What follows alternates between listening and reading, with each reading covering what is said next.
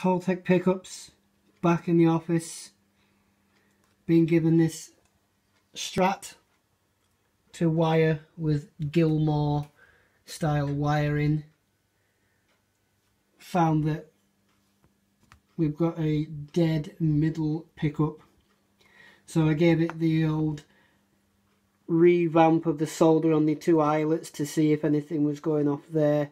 Nothing. Um, I don't know who's made these but um, the wires the lead wires weren't connected to the eyelets um, in the best fashion that we like to do it. Tall Toltec pickups anyway.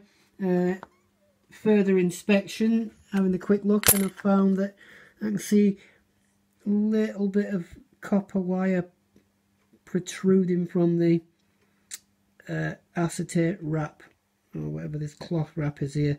So that's kind of saying to me that it, as the cover's gone on or something that's been installed or as they've been manufacturing that at least, they usually would test them for reading once it was all wrapped up anyway.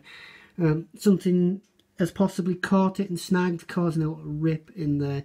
So what we'll do is we'll remove this tape and we'll undo from the finish wire and we'll unwrap until we find out what's going on. Um, and hopefully let's just say that hopefully that that is a little snag there and we don't have too far to go before we reach that.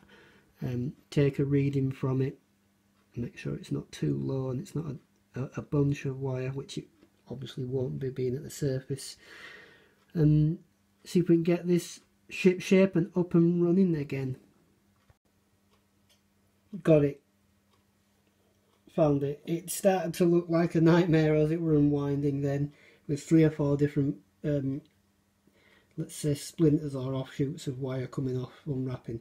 But then we found it uh, and then we've tested with Withers multimeter one end and this end here and we're getting a reading so all that's left now. And it wasn't very deep to be fair. I'd say probably 10 20 wraps at most.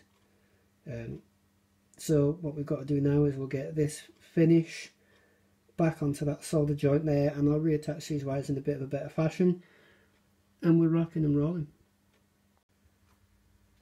And there we have it. Some fresh tape on there to protect the coil again. Quick solder up and we've got it back to normal boom.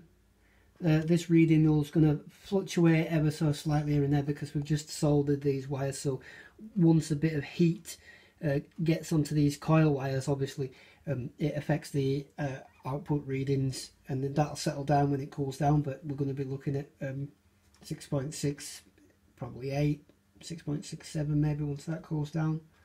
Uh, there, there it goes.